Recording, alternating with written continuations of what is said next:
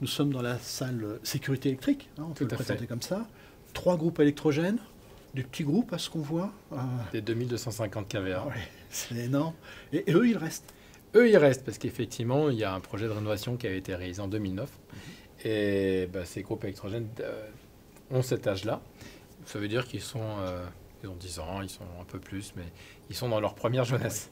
Et dans ce cadre-là, en plus, c'est des groupes électrogènes bah, très bien dimensionnés, très sécurisés. On a des démarrages euh, sur batterie, des démarrages euh, sur air comprimé. On a vraiment la, la meilleure technologie qui a été mise en œuvre euh, par son propriétaire précédent. Et dans ce cadre-là, effectivement, comme on veut réutiliser le maximum de choses, bien sûr, on réutilise ce local hein, dans sa globalité pour secourir le, le bâtiment. Mhm. Dans une seconde phase, on construira sans doute pour euh, faire une croissance de puissance un autre local hein, euh, pour, euh, pour, pour monter plus haut. Mais effectivement, à- pour l'instant, euh, bon, on a 5 kVA euh, de, de- de puissance en N plus 1, donc 3 groupes écrans de 2250 kVA, et ça nous suffit largement pour démarrer euh, le site en phase 1.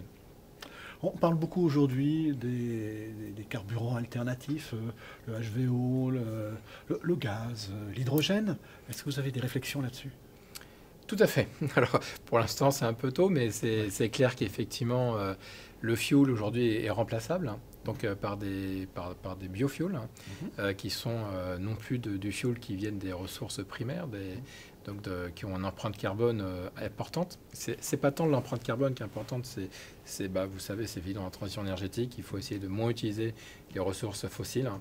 Et donc, il y a des énergies de, de- de renouvellement, donc le, le bio- le biométhane ou le biogaz ou là, le biofuel, hein, c'est utiliser effectivement plutôt des déchets végétaux ou des végétaux, euh, déchets végétaux c'est quand même mieux, euh, pour euh, produire des, des fuels synthétiques. Donc c'est une grande question dans le secteur automobile, hein. mais dans les data centers, euh, ça paraît presque élémentaire d'être, de se fournir en, plutôt en biofuel plutôt qu'en fuel euh, euh, issu de nos sous-sols. Et dans le même temps, on assiste à des réflexions autour de euh, une réduction de l'utilisation des groupes électrogènes au profit de solutions plutôt tournées vers le stockage d'énergie. Est-ce que c'est aussi quelque chose qui vous parle? Bah, au- Aujourd'hui, le- le- la sécurité, c'est basé sur, des, sur le stockage d'énergie de longue durée. Donc effectivement, on y réfléchit, on a, on, on a un groupe de travail interne euh, sur, les sujets, sur ces sujets-là, Euh, sachant qu'effectivement, ça dépend des applications. On est en train de réfléchir à un autre data center qui est plutôt euh, 100% orienté HPC. Et effectivement, avoir 72 heures d'autonomie sur du HPC, ça n'a aucune utilité. Ici, bon, on a ces groupes électrogènes, donc euh, la base, c'est de le réutiliser. Euh, pour autant, effectivement, euh, au- aujourd'hui, il y a beaucoup de sujets qui, effectivement, qui tournent autour de la production d'énergie sur site, hein, avec des turbines gaz, des moteurs gaz, hein, des trigénérations. On est en train de le, travailler, nous, sur un sujet en, en Ile-de-France. Sachant qu'effectivement, ce qui joue à ce niveau-là, c'est l'intégration du data center dans le réseau d'énergie de l'écoquartier. Euh, cet, hi- cet hiver, finalement, j'ai l'impression qu'on a, on a eu de la chance, beaucoup de chance. Euh, il y a eu suffisamment d'électricité, pas de grosses coupures électriques. Les dernières coupures, c'était des mouvements sociaux, c'était pas un manque d'énergie. Euh, du coup, effectivement, il n'y a pas eu de nécessité d'effacer les, les data centers en démarrant les groupes électrogènes.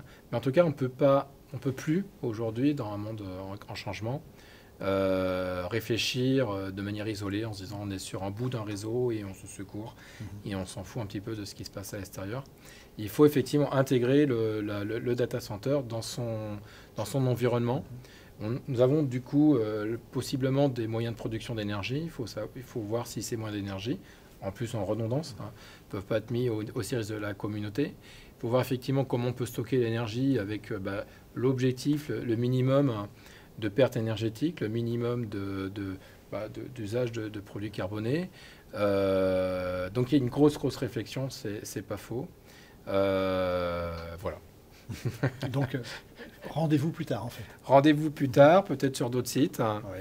Euh, sur ce site, ce qui est vraiment privilégié, c'est le, c'est le- c'est vraiment la, c'est un peu le graal quand même dans le data center, c'est de faire en sorte que toute l'énergie qui rentre dans le data center puisse servir à autre chose. L'énergie, donc, elle rentre de manière traditionnelle, c'est l'énergie électrique. Elle est transformée en chaleur au niveau des serveurs, et c'est de réutiliser toute la chaleur. C'est pas, on ne fait pas ça pour, pour dire, ouais, il y a peut-être 10%, 20% d'énergie qui est, euh, qui est réutilisée. c'est toute l'énergie qui rentre dans les serveurs qui va être utilisée en, période hivernale par les, par les, bah, les consommateurs de chaud, donc tous les logements, y compris les logements sociaux, qui vont être construits autour. Pour autant, cette question d'énergie primaire nous intéresse beaucoup.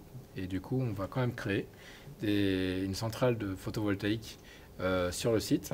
Et donc, effectivement, on pourra considérer que euh, peut-être 80% de l'énergie va être de l'énergie euh, extérieure, d'origine nucléaire, mix et autres. Mais il y a 20% d'énergie ENR, e donc photovoltaïque, qui vont être créés sur le site. Donc voilà, c'est une question. on aura sur, lors de l'atelier. Euh, l'occasion de, vraiment parler de l'empreinte carbone, des investissements. Beaucoup de questions ont été posées en avance sur le sujet, donc on s'est bien préparé. Et on va amener effectivement des ROI, sachant que les ROI, bien sûr, c'est financier, mais c'est aussi carbone, très très carbone. Comment on utilise au mieux bah, cette ressource, nos ressources environnementales, pour, euh, euh, consommer plus intelligent sur le site. Ok, merci. Qu'est-ce qu'on va visiter maintenant? Hum, je sais pas, vous pouvez Alors, vous nous retrouvez, vous nous retrouvez euh, très vite sur la prochaine vidéo.